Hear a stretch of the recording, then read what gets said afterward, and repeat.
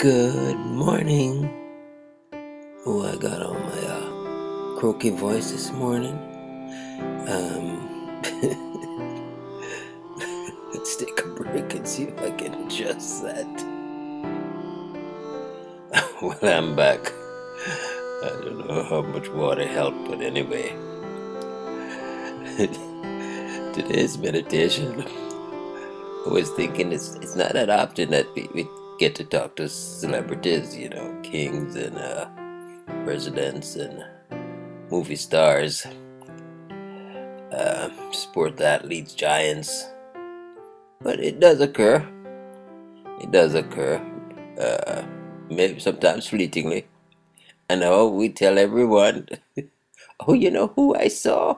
Yeah, I spoke to him. but but this is a bigger planet that uh, we imagined, and more important things are even there. And before I get to a reference verse, I would like to read uh, maybe first ten verses of uh, Jeremiah thirty-three, and it begins by saying. Moreover, the word of the Lord came unto Jeremiah the second time, while he was yet shut up in the court of the prison, saying, Thus saith the Lord that the maker thereof, the Lord that formed it, to establish it. The Lord is his name. Call unto me, and I will answer thee, and show thee great and mighty things which thou knowest not. For thus saith the Lord, the God of Israel, concerning the houses of this city, and concerning the houses of the kings of Judah, which are thrown down by the mounts and by the sword. They come to fight with the Chaldeans, but it is to fill them with the dead bodies of men whom I have slain in my anger and in my fury. And for all those wickedness I have hid my face from this city. Behold, I will bring it health and cure. I will cure them, and will reveal unto them the abundance of peace and truth. And I will cause the captivity of Judah and the captivity of Israel to return, and will build them as at the first. And I will cleanse them from all their iniquity, whereby they have sinned against me, and I will pardon all their iniquities, whereby they have sinned, and whereby they have transgressed against me. this is the great God Almighty now Speaking to Jeremiah, guess where he was? Locked up in prison. God is awesome. He will communicate. He communicates with you and I. All you have to do is call on him. So, anyways, Spurgeon expounds on verse 3 that says, I will answer thee and show thee great and mighty things which thou knowest not. And he expounds. There are different translations of these words. One version renders it, I will show thee great and fortified things. Another, great and reserved things. Now, there are reserved and special things in Christian experience.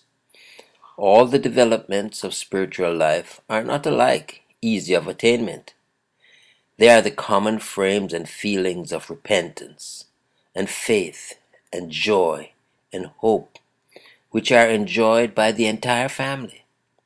But there is an upper realm of rapture, of communion, and conscious union with Christ, which is far from being the common dwelling place of believers. We have not all the high privilege of John to lean upon Jesus' bosom, nor of Paul to be caught up into the third heaven. There are heights in experimental knowledge of the things of God, which the eagle's eye of acumen and philosophic thought hath never seen. God alone can bear us there, but the chariot in which he takes us up, and the fiery steeds with which that chariot is dragged, are prevailing prayers. Prevailing prayer is victorious over the God of mercy. By his strength he had power with God. Yea, he had power over the angel and prevailed. He wept and made supplication unto him. He found him in Bethel, and there he spake with us.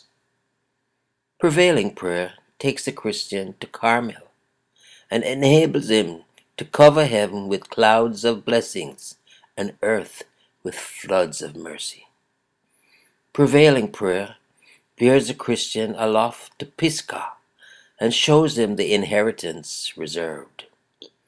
It elevates us to Tabor and transfigures us till in the likeness of his Lord, as he is, so are we also in this world. If you would reach to something higher than ordinary groveling experience, look to the rock that is higher than you, and gaze with the eye of faith through the window of importunate prayer. When you open the window on your side, it will not be bolted on the other. Yes, yes. God says, I will answer thee and show thee great and mighty things which thou knowest not. O God Almighty, how blessed is your reign. How blessed is your heights and your depths, and that you would commune with even me. Oh God be praised.